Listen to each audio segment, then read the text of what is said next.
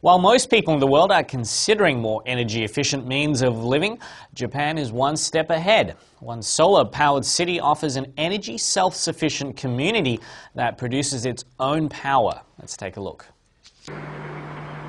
These dark rectangular solar panels could hold the key to a completely self sufficient community. Ota City, located about 80 kilometers north of Tokyo, is one of Japan's sunniest spots and home to strawberry fields. Quite interestingly enough, this nature hotspot is where 550 homes are given free solar panels from the government as part of a study on how to avoid blackouts by sharing solar power. Mika Hiroshima's family moved to the neighborhood three years ago to try out solar power.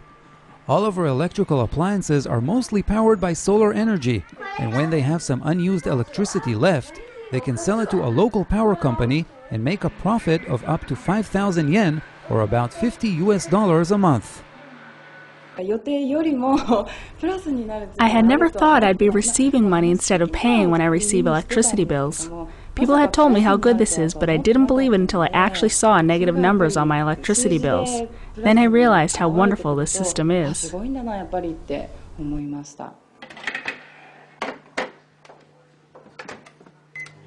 Solar panel makers say that at high noon in sunny weather, a 4 kilowatt rooftop power generator can yield enough power to run four dryers at once. In cloudy weather, the power generated is less than half of that. Experts say that if families buy them at the current market price, it would take two to three decades before they could recover costs of about 2 million yen or $20,000. Ota Housing Development Manager Kazuo Nakashima says the high equipment cost is still the biggest challenge in spreading the eco-friendly system.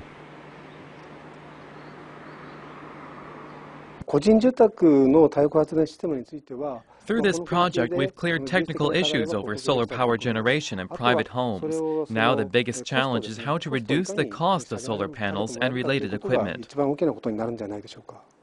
The Japanese government scrapped solar panel subsidies in 2006, but it is planning to revive them next year, with the new subsidies expected to cover 10% of installation costs.